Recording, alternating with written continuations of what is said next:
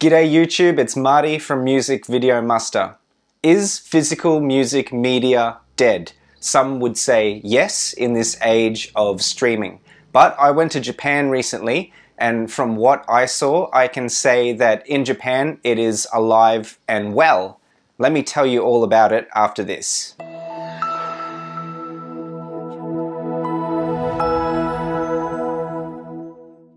Hi and welcome back to the channel where we believe that music is better on DVD.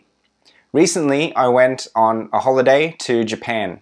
I had an absolutely amazing time. I really love that country and I was so sad to come back. Now apart from having an amazing time sightseeing and eating over there, of course we put aside some time for shopping. And while the rest of my family were enjoying themselves at the department store, I only had one shop in mind that I wanted to go to, and that was the record store. So when I was in Tokyo, I hunted down Tower Records in Shibuya. Now, Tower Records Shibuya is like a candy store for music enthusiasts. Each level has a different genre.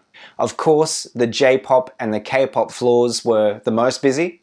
Rock is up near the top and it was noticeably less busy than the other levels. There's also a level that's just for vinyl LPs. So of course I went straight to the rock section. At the time they were really pushing Oasis because as you might have already heard, Oasis is getting back together for some tours soon, and that's really great news. So anyway, inside Tower Records, they're blasting Oasis. There are racks and racks of CDs as far as the eye can see with all different kinds of rock represented. And there's even a secondhand section where all the CDs are used but still in basically mint condition. Personally, I don't really collect CDs my main priority is DVDs. Now, if I were a CD collector, there is absolutely no way that I could have walked out of that shop without an empty wallet. Unfortunately for me, there wasn't a lot of stuff there that I was really interested in buying,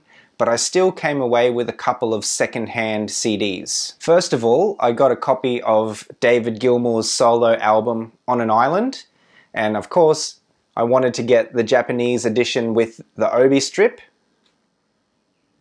but I probably won't hold on to this one. I think I'm going to resell it on eBay just because I do already have this album in surround sound. I also walked out of Tower Records with a copy of Primus, Sailing the Seas of Cheese, and again, I wanted one with the Obi strip. CDs in Japan are kind of expensive, even for used CDs, but I can tell you that the condition is nearly mint. They don't sell crappy, scratched up ripped CDs in Japan. Everything is in basically pristine condition. So it's perfect if you're into collecting. I didn't really have a chance to do much more music shopping in Tokyo. But then I went to Osaka where I had a little bit more time to look around. In Osaka, I also went to Tower Records, this time to the Namba Parks branch. The Namba Parks branch of Tower Records is much smaller. It's got everything combined in just one level. And they don't have a dedicated used CD section. Again, I didn't see a whole lot in the shop that I really wanted to buy, but I thought that it would be a shame to walk out of there empty-handed. So I did walk out of there with a copy of Pink Floyd Animals, the 2022 remix. And the only difference between this one and the 2018 remix, which came out just a few years before, is that the newer version has a Dolby Atmos mix whereas the older one only has surround sound. They had it for just 50,000 yen, roughly 50 Australian dollars, which is much cheaper than I could get it in Australia, so I decided it would be worth getting. And it brought back so many memories to see these things. Yes, in Tower Records, they still have the CD sampling station where you put on the headphones and you can select a few of the popular albums of the week and listen to them on the spot. I literally have not seen these things in Australia for decades.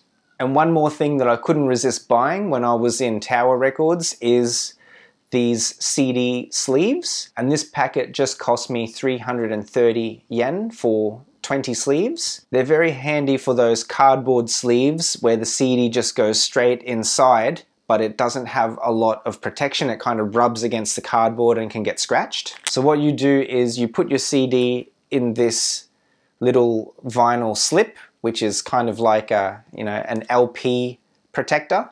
And then that goes inside the cardboard sleeve and protects the CD from scratches. On the way to Tower Records in Namba Parks, one of the record stores that I stumbled upon along the way is called Soundpack. This was a really nice store. It was kind of small, but it had really great stuff in it. Again, the store mostly had CDs and also these strange things which I've never seen before and I don't know how they play. If you know what these are, please let me know in the comments. Soundpack also had a good range of DVDs and so I ended up buying a couple of secondhand DVDs, again in mint condition from this shop Soundpack.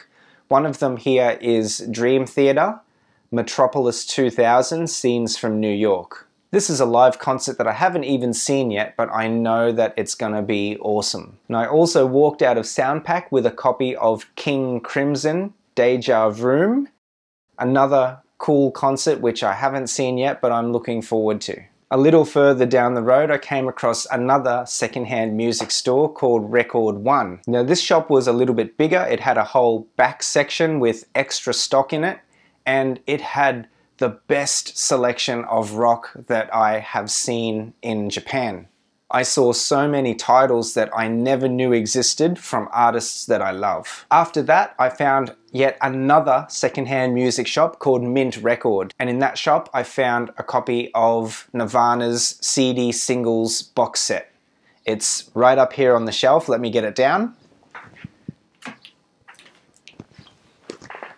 So this one here, I bought it for about 15,000 yen, which is about 15 Australian dollars roughly. And there are six individual CDs inside the box. Again, I'm not a big CD collector, but I thought it was a good bargain and I don't mind buying CD box sets like this.